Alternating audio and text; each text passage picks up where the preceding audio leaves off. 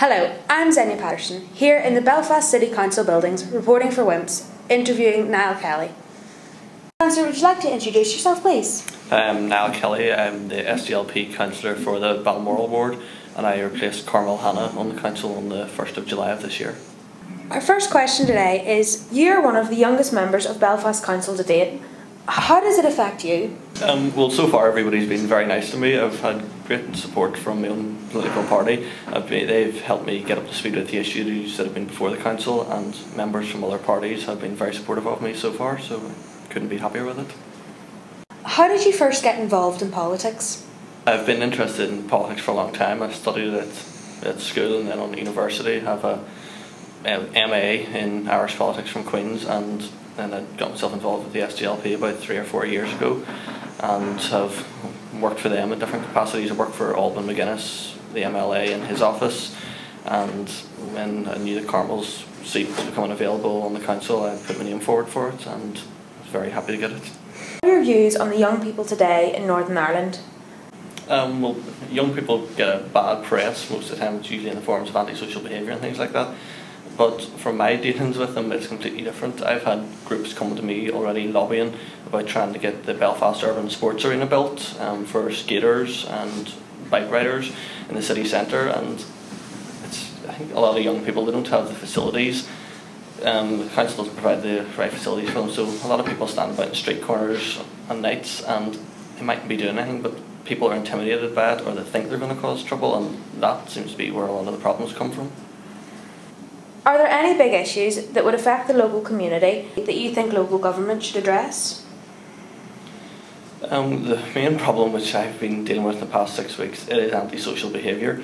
It's the need for proper facilities for people um, in the evenings and weekends. You have parks that are locked off by gates and people then end up getting into them through their own ways and then trouble's caused and then when the police come out it's, everything just escalates and the council has to take a more active role.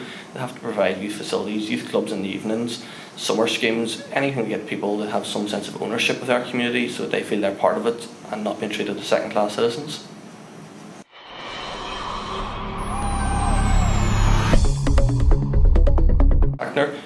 phone our constituency office, go to our constituency office, sign the petitions, keep the pressure on her. If she thinks she can get away with it, she'll say it again. Ian Paisley Jr. in an interview with Hot Press last year said comments pretty much the same. It was glossed over after a couple of weeks and it's moved on. Iris Robinson should not be allowed to get away with this and the pressure has to be kept on her.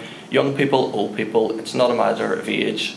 They just have to keep the pressure on her and say, no, we will not tolerate this. Enough is enough.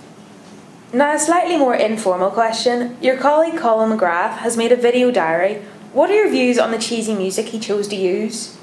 Um, well, I run a blog. I've got my own blog on this and I've posted on this and I've commented on the video. I think it's a great idea for Colin to do the video and try and get some sort of form of communication with his constituents, but music is awful.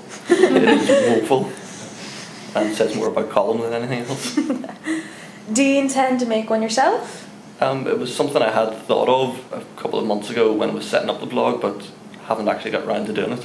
There's a video camera sitting in the house, but still in the box. Do you think more young people should get involved in politics either through WIMPS, Belfast Youth Council, or even youth wings or parties? There's so much opportunity now for young people to get involved in politics. It's not just the traditional party system that you can get involved with. Anti-war groups, um, single issue groups, um, protecting the environment, things like that. They're a great way for people to get involved with politics, even if they don't want to join a political party most political parties are seen as middle aged and have no real appeal for young people. But there are so many young politicians now starting to come forward. There's Charlene O'Hara from Sinn Féin in Lisburn, um, Matthew McDermott from the SDLP, who for a while was youngest councillor in Ireland. Um, the DUP tried to get a 20 year old co opted onto Fermanagh District Council, and with the review of public administration, which will come into effect in 2009 2010, there are going to be many, many long serving councillors who are going to be offered severance packages and are going to be able to retire from the councils. This will be an opportunity for young people who are interested in politics to get involved in active politics and see what it's really about. Thank you very much for meeting with us, Councillor. Thank you.